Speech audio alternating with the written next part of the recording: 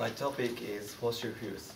Fossil fuels are fuels made of fossil that have been changed by pressure or heat for long years.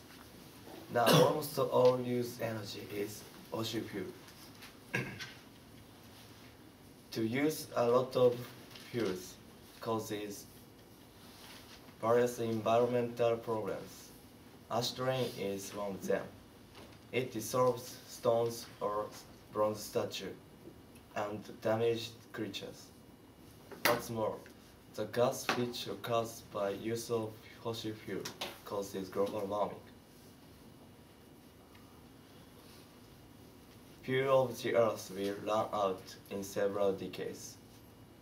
So now, uh, the development of new energy like solar energy is emphasized. Thank you.